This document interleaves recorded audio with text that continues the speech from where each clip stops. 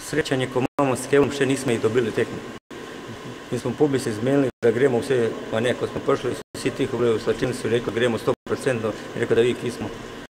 In smo jih s discipline igri in vse to smo razbili. Golman je super, metulje vodja ekipe, ne, igrajo za čisto desetku, vsi igralci so od Larja, vsi so se borili 100%.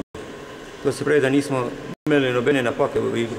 Smo pa zabili šest golov, tri minute do prvi konca smo dobili dva gola. Ekipa spet premore te prvoligaške ambicije. Ja, bomo videli, ja, treniramo na tem, da bomo pa videli kam, kam vse, ne, v play-off, kam bomo pa prišli.